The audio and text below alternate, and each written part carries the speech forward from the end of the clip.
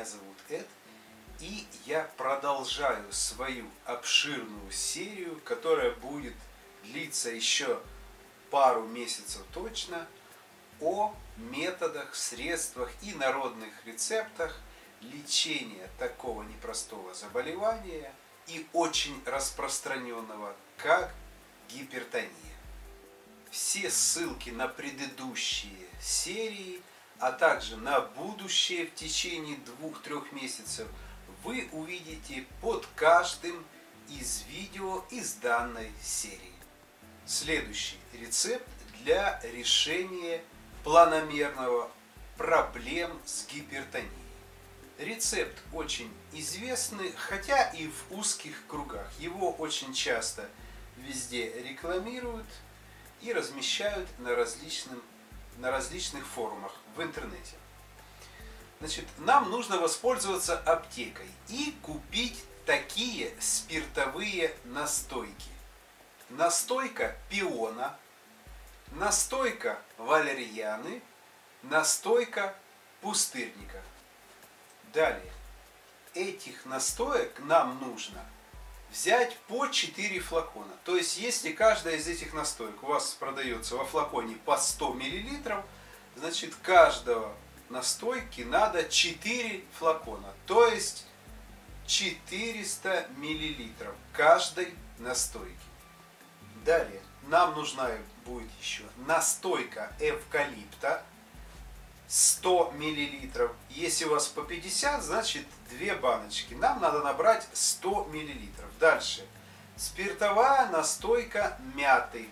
Нам необходимо 25 миллилитров. Мы практически все собрали. Нам нужна будет еще специя, гвоздика. Такие маленькие-маленькие веточки. Цельные. Обязательно цельные. Цельные веточки специи гвоздика 10 штук. Дальше готовим соответствующую банку, чтобы перелить туда все эти флакончики. Банка должна быть э, с запасом.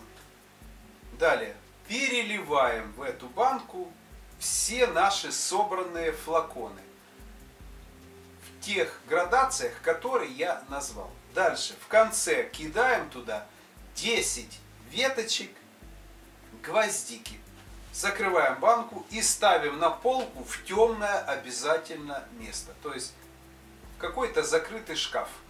Или в кладовку, или где-то еще. В таком состоянии пусть она стоит. Встряхивать нежелательно. Так должна наша настойка дальше настаиваться и стабилизироваться 3-4 недели. После этого она уже будет окончательно готова к приему. Через 3-4 недели можно начинать уже принимать данную настойку. Принимать ее очень легко. Берем одну десертную ложку этой настойки. Можно на небольшое количество воды. Можно просто глотать ее и запивать небольшим количеством воды, как хотите три раза в день до еды. Ровно один месяц. Никаких перерывов, никаких я забыл и так далее. Четко, ровно один месяц принимайте по вот этой схеме, которую я только что вам и озвучил. После месяца приема делаем 10 дней перерыва, ровно 10 дней. Далее все то же самое повторяем после второго курса перерыв делаем 20 э, дней. Не 10 уже дней, а 20 дней. И можно повторить третий курс. И все. В ближайшие полгода данную настойку больше не пьем. Через полгода можно заново сделать 2-3 курса. В этот период чередуем этот рецепт и любой другой мой рецепт, который вы увидели в описании.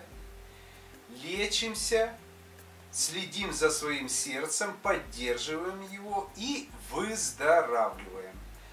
С вами был Эд. Спасибо за внимание. Ставьте мне пальчики вверх, подписывайтесь, делитесь с друзьями данным видео в соцсети. И до встречи завтра на моем канале. Пока. Подписывайтесь, ставьте лайки, задавайте вопросы. Отвечу каждому.